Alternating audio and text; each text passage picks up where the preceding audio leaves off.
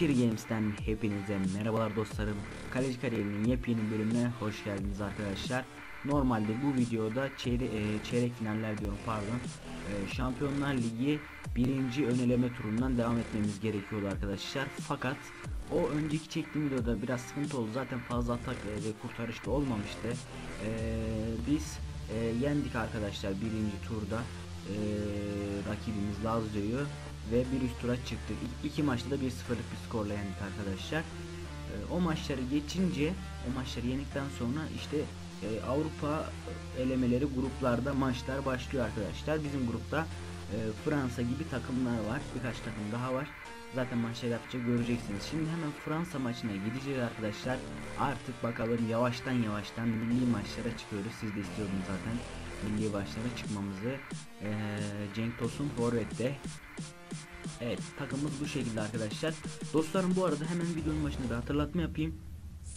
Kanalımda birkaç tane daha seri çekeceğim arkadaşlar. Ee, Ela Noire ee, ve e, yanında arkadaşlar ee, Godfather 2 çekeceğim. Zaten GTA 5 serisine devam ediyorum arkadaşlar. 4. bölümden sonra sesli olarak kesinlikle bu serileri izlemenizi tavsiye ediyorum. Ee, özellikle Godfather 2, GTA 5, e, El Enoir gibi oyunlar arkadaşlar e, tam böyle benim sevdiğim tarzda e, oyunlar ki sizin seveceğinize de yüzde yüz eminim arkadaşlar. E, PES kari, kaleci kariyeri hala devam edecek yani. Ondan da haberiniz olsun. Fakat hani yanında da birkaç seri çekelim dedik. E, sadece sadece PES izlemek için izlemeyelim arkadaşlar. Dediğim gibi bir göz atın. E, beğenirseniz o de izlersiniz zaten dostlarım. Hepinize şimdiden teşekkür ediyorum. Evet yavaştan geçiyoruz arkadaşlar. Konya Torku Arena'da devam edecek maç. Biliyorsunuz zaten ön elemelerde eee, gruplar elemesinde arkadaşlar Türkiye'yi de en iyi temsil eden stadyumlardan şehirden birisiydi Konya şehri Konya stadyumu. O yüzden eee, Türkiye'nin ev sahipliği yaptığı stadyum olarak da Konya'yı seçmişler arkadaşlar. Bu Extreme 16 yamasında. Bakalım Fransa şimdi Benzema ile Benzema Benzema uzun pasında birebir de değerlendiremiyorlar görüyorsunuz. Böyle riskli geldiler. Ters köşeye attım. Bazen dediğim gibi her zaman doğru köşeyi tahmin edemiyorsunuz arkadaşlar. Benzema bir anda pas attı. Bir anda karar vermeniz lazım. Kaleci kariyeri eee, gördüğünüz kadar göründüğü kadar kolay bir eee modda değil arkadaşlar. Bir kariyer eee, de değil yani onu da söyleyeyim arkadaşlar. Arda şimdi pasını verdi. Dışarıda Hakan Çalanoğlu Cenk Tosun'a Cenk Tosun Golü buluyoruz dostlar sonunda. İşte bu be. Fransa karşısında Türkiye'nin gücü, Türkiye'nin kuvveti. 2016'da elemeler zaten Fransa'da yapılacaktı arkadaşlar. Ve Fransa maçında da böyle güzel bir gol attık Cenk Tosun'dan. Cenk Tosun köşeye kaleci hiçbir şey yapamamış arkadaşlar. Çok zor bir pozisyon bir kaleci için. Harbiden nihayet 51. dakikada 1-0 öne geçtik. Caner Cenk Tosun'a, Cenk Tosun Hakan'a tekrar Cenk Tosun. Şako var Cenk Tosun. Son dakikalara doğru çok etkili geliyoruz. Farkı açmak istiyoruz ama 80. dakikada ne yazık ki farkı ikiye çıkartamadık arkadaşlar. Artık maçta son 10 dakika. Fransa'nın şu ana kadar etkin bir hata yok diyebiliriz. Ne yazık ki bizim için bir kurtarış şansı olmadı daha. Olsun. ee, böyle önemli bir maçtı. Zaten bu da çok önemli değil. Takımımızın alması önemli arkadaşlar. Hiç riske atmayalım. Şu an Fransa'yı resmen elimizde oynatıyoruz arkadaşlar. Görüyorsunuz tek pasları, güzel oyunu. Türkiye toparladı. İlk yıllarda böyle değildi Türkiye. Kaleci kariyerinde başladığımız yıllarda. Sonradan toparladı takım bayağı sağlam oldu. Şimdi Arda, Cenk ters bir vuruş yaptı. Bu sefer olmaz Cenk yani. O pozisyondan da zor kardeşim. Fazla zorlama. Ribery artık son hata çıkacaklar 90 artı 3'te. Ribery de top hala. Oo sağdan attı soldan geçti. Ribery Benzema'ya doğru güzel. Bitirdi artık, artık bitecek o maç. İleriye doğru iyi vuracağım arkadaşlar. bitirdi. Turku Arena'da 1-0 alıyoruz. Gayet güzel bir skor. Cenk Tosun maçın adamı seçildi attığı golden sonra.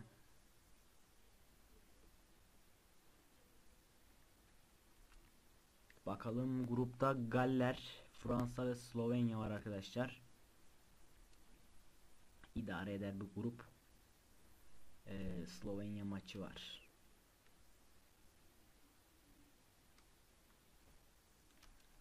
Slovenya maçına girsem mi girmesem mi acaba? Ee, Slovenya maçını atlayacağım arkadaşlar. Güveniyorum. Ülkemize 1-0 aldık. Çok güzel abi. İyi ki girmemişiz. 6 puandayız. Şu an grupta birinciyiz arkadaşlar. Gayet iyi yani şu anki durumumuz. Evet Inter'le yapacağız. Çeyrek finallerde ilk turda arkadaşlar. Ee, Lazio maçından sonra Inter maçı biraz daha zor olacak bizim için. Ama elimizden geleni yapacağız bakalım. Deplasmana gideceğiz arkadaşlar. Hemen şöyle kadroyu göstereyim size. Kadrolar görmüş olduğunuz şekilde her iki takımın da kadrosu. Inter'in kadrosu bize nazaran birazcık daha iyi. Ee, inşallah bu bizim için sorun olmaz. Bakalım Giuseppe Meazza Milano'nun stadyumuna gidiyoruz. Deplasmana gidiyoruz Şampiyonlar Ligi çeyrek finali maçında. Evet arkadaşlar yatay kamera moduna çok oynadık. Uzunca e, oynadık diyebilirim yani. E, yeterince diyeyim daha doğrusu. E, birazcık da dikey kamera modunda oynayalım diyorum. Hani farklılık olsun hem dikey kamera modunda tadı bir farklı oluyor arkadaşlar kaleci kariyerinde. E, bizim takım ataklarını yeterince iyi göremiyoruz ama e, kurtarışlarda ayrı bir zevki oluyor onu da söyleyebilirim dostlarım. Bu arada gol atıyoruz. İlk dakikalardan Wesley Snyder. Deplasmanda golü buluyoruz direkt. Çok güzel bir başlangıç oldu. Inter maçı zor olacaktı. Ama bu başlangıç çok iyi oldu arkadaşlar. Böyle üzülüyor rakip takım. Daha ben açıklama yaparken Snyder gol attı. Bakalım dediğim gibi bu şekilde devam edeceğiz. Palacio ileriye doğru Icardi'ye gelmeden alıyoruz. Hatalı pas yaptık. Palacio bir şut. Allah'ım kurtardık mı orada göremedim. Efsane kurtarmışız arkadaşlar. Orada hatalı pas attık ama hatamızı mükemmel telafi ettik. Cidden mükemmel bir kurtarış.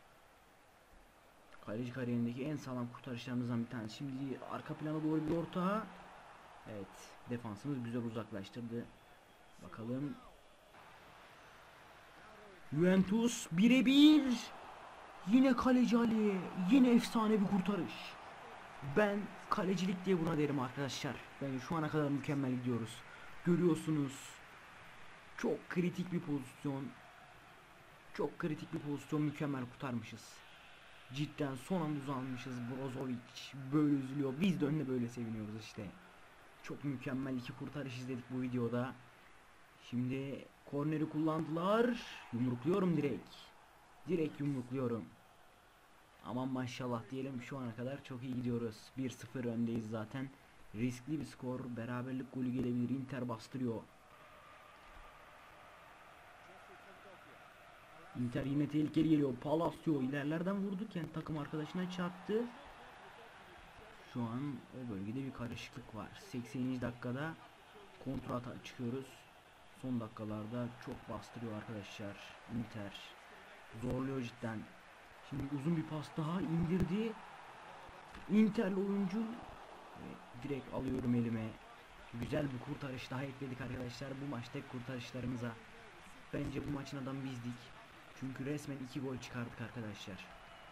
Yani haksızsam haksızsın yazıyorum ama bence iki gol çıkardık arkadaşlar. İki mükemmel şutu uzaklaştırmayı başardık. Durum 2-1 olabilirdi. Şu an 1-0 öndeyiz dostlarım. Artık maçın bitmesini bekliyorum. Inter çünkü tehlikeli gelmeye başladı. Sağ kanatına yükleniyoruz şimdi rakip kaleye. Uzaktan da çok iyi gözükmüyor pozisyon ama 90. dakika 90 artı 2 Inter'in son atak şansı çok hızlıca çıkıyor Juan Jesus. Nereye doğru bir pas. İçeriye. Oo, bayağı tehlikeli geliyorlar. Harbiden tehlikeli geliyorlar. Uzaklaştıralım. Güzel. Deplasmanda 1-0 almayı başardık arkadaşlar Inter maçını. Bilal böyle seviniyor. Sandanovic. Handanovic bugün şanssızdı bizim yanımızda bayağı kötü bir performans sergiledi. Evet golü Snyder attığı için Snyder'i maçın adamı seçti ama çok da güzel kurtarışlarımız var dediğim gibi dostlarım. Şu ana kadar videoda gol yemedik. Umarım son maçımızda da gol yemeyiz. Ee, Roma almış, Barcelona Chelsea yenmiş. Bayern Münih Real Madrid'le berabere kalmış. Biz de Inter'i 1-0 yenmeyi başardık. Bakalım. Bir sonraki maçta evimizdeyiz artık. Daha kolay bir maç olacak bizim için. Evimizde olduğumuz için. Bu sefer baskı rakip üzerine arkadaşlar. Samsun Spor diyor. Geçelim. Maçı atla. Samsun Spor ligi yükselmişti bu arada. Fenerbahçe ile. Ee, kariyerimiz bittikten sonra arkadaşlar bu sene sonunda da Beşiktaş'a gideceğim. Haberiniz olsun. Evet şimdi Inter'le rövanş maçımız var. Bakalım bu maçta neler yapacağız. Ee, şöyle bir kadroyu inceleyelim. Kondisyonumuz düşük ya gençler. Hem de en düşükte. Bu kötü oldu. Ee, Burak Yılmaz inancımızın bizi daha ileriye götüreceğini düşünüyorum demiş. Keşke kondisyonumuz düşük olmasaydı. Ee, bayağı etkiliyor çünkü arkadaşlar.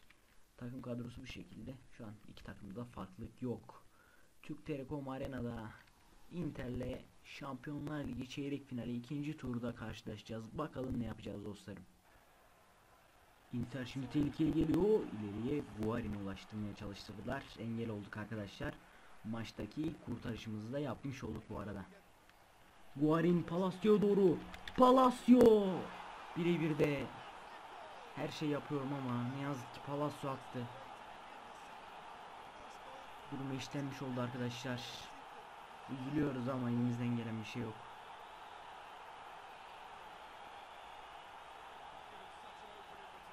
Palacio gol oluyor. Hemen izleyelim pozisyonu bir bakalım. Hatamız var mı yok mu? Görelim şöyle. Da Palacio çok açıktaydı ya. Defansımız ah be seni. Görüyorsunuz arkadaşlar. Ne yazık ki her kalecinin yiyebileceği bir gol. Ya köşeyi her zaman doğru tahmin ediyorum arkadaşlar en azından. O yüzden çok üzülmüyorum yani hani ters köşeye atlamıyorum her zaman doğru köşeyi tahmin ediyorum ama dediğim gibi her pozisyonda kurtaramıyorsunuz arkadaşlar. Sonuçta her kaleci gol yer. Bence pozisyonda hatamız yok gibi ama bakalım. Umarım bir gol buluruz da turu atlayan takım oluruz. Burak Yılmaz. Burak beraberliği getiren gol atıyor. Bu maçta beraberlik getiriyor bu gol ama seride biz öne geçiriyor arkadaşlar. 2-1 yaptı seride. Çok güzel bir gol attı Burak. Burada Yasin çal topu. Yasin görüyorsunuz çok temiz bir orta. Burak kafayla o da çok temiz bir vuruş yapıyor ve 2-1 oluyor seyirde durum arkadaşlar. Harbiden rahatladık iyi oldu. İki mükemmel kurtarışımız vardı bu maçta. Eğer şu maçta yeniliyor olsaydık, geriye düşmüş olsaydık cidden üzülürdüm arkadaşlar. Elimizden geleni yaptık çünkü. Şimdi Icardi maç daha bitmedi ama dikkatli olmamız lazım. Bakalım 71. dakikadayız. Icardi Palacio son dakikalarda Inter öyle bir geldi ki görüyorsunuz arkadaşlar Icardi Palacio'a çok uzun bir pas attı. Böyle üzülüyor Palacio. Gol yemiş olsaydık maç uzayacaktı. Şu an seride 2-1 öndeyiz. 88. dakika arkadaşlar. Inter son dakikalarda yüklenmek istiyor. Palacio. Brozovic. Miranda. Guarin. Uf Guarin. Hiç beklenmedik bir şekilde vurdu Guarin. Ama olmadı. Şöyle ileriye doğru vuracağım arkadaşlar. Hiç riske etmeyeceğim. Burak indirir onu. Juan Jesus. Melo. Çok uzun bir pas. Çok güzel Selçuk. Çok güzel. Snyder oyna bana. Pardon ya Snyder diyorum artık heyecandan. Semih ile Snyder'i karıştırıyorum. Ve nihayet Inter'i de yıkmayı başardık arkadaşlar. Inter'i de yıkmayı başardık. Çok güzel kurtarışlarımız oldu maçta. Cidden çok efsane kurtarışlarımız oldu. Talihsiz bir gol yedik ama olsun. Nihayetinde maçı kazandık arkadaşlar. Ve Şampiyonlar Ligi'nde yarı finale çıkan takımlar Roma, Barcelona, Real Madrid ve Galatasaray oluyor arkadaşlar. Bu dört takım Şampiyonlar Ligi'nde yarı finale çıkıyor. Bakalım hemen kurallar çekilecek. Hangi takımla eşleşeceğiz? Kesin Real Madrid.